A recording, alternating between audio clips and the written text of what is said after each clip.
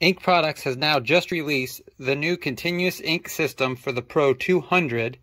So today I'm going to show you how to install it. Just a quick setup.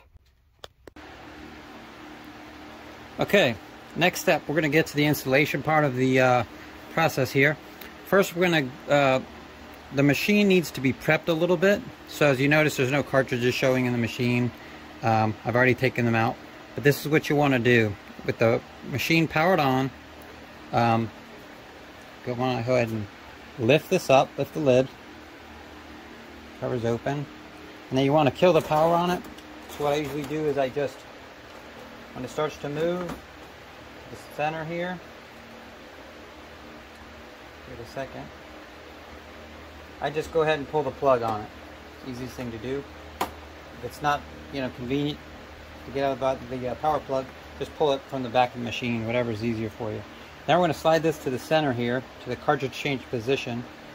And uh, what I mean by prep the machine, I just got a little regular uh, rub, rubbing alcohol.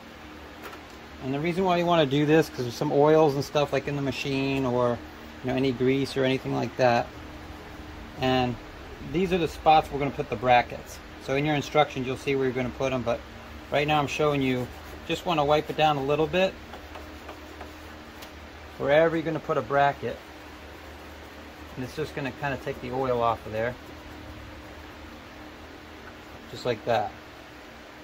Okay after that's done the next thing we give you these little silicone gaskets. This is for the CIS and also for the print head uh, if you notice I've already put a set of them in there but with the original uh, gaskets that come with the Canon printhead, sometimes they're a little bit shallow depending on how they're manufactured or whatever. But um, I've already installed mine and that's just going to help create a good uh, vacuum for the cartridge. After that's complete, um, you're pretty much ready for the installation. Get these out of the way here. Like I said, you want to be quick. There, now they're all clicked in.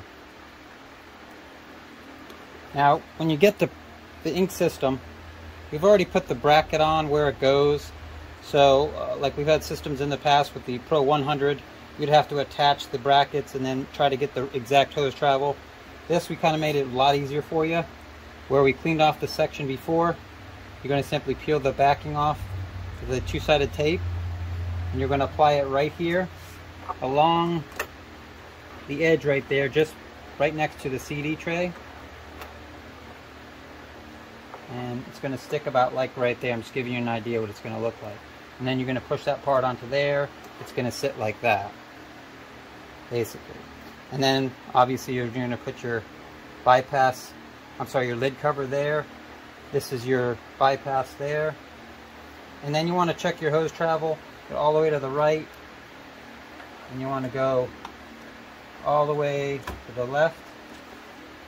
That's pretty much it. And you can kind of, you know, critique it a little bit. So here we go. Okay, so now we're going to remove the backing.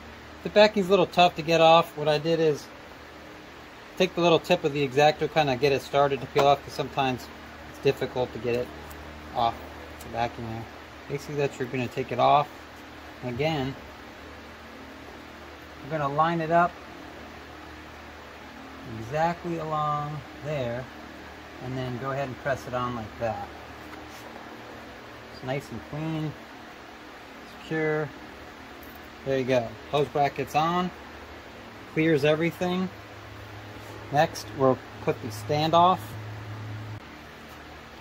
Now I remove the back for the standoff. There's a little circle on top. That just keeps it off a little bit. Okay, system's in. Check my hose travel. All the way to the left, all the way to the right.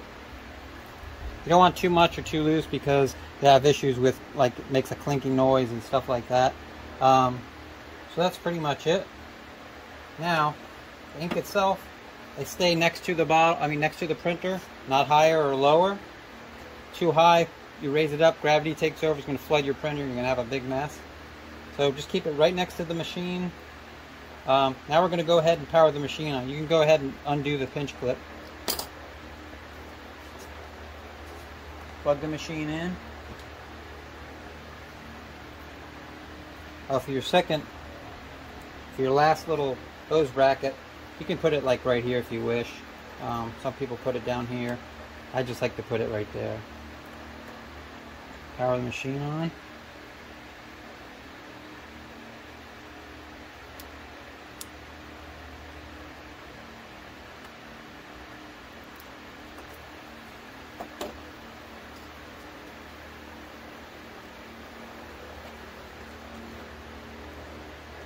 That's I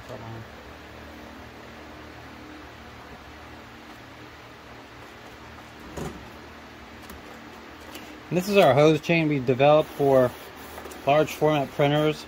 Um, works out really well for such a, a, wide printer and a lot of cartridges. It keeps that uh, ink hose up nice.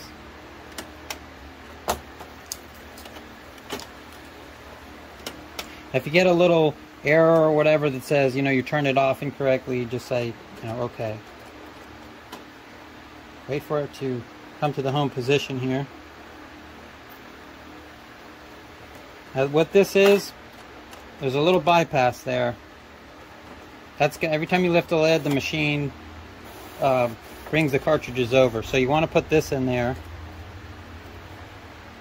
as soon as it gets out of the way or does its little dance here. I'll show you. But there's a little slot. You can just go ahead and push it down in there nice and flat. Now it thinks the lid is closed. I'm going to keep it open now just to give you an idea what's going on and, you know. See, power was turned incorrectly. Don't worry, just say okay. Hey, there's all your colors lit up. Um, now, depending on when you transfer these, if you use the printer and the levels dropped, they're not going to change. They're going to stay at the same level. Um, when that color comes up and it shows depleted, what you're going to do is you're going to hold down the, uh, the stop button and going to actually shut that color off. Okay, so there we go. Everything's all in. You can actually shut this down about this far. Um, you want to remember to open up all the small air plugs on the side. Every one of them, only when you're printing. Obviously, when you're going to fill the bottles, you plug them up, lay them down, and fill them. But that's in your instructions, so follow your instructions. And that's pretty much it. Now, uh, the next video, I'm going to show you a couple of prints come out of the machine. But that's just a quick uh, setup, what you should do.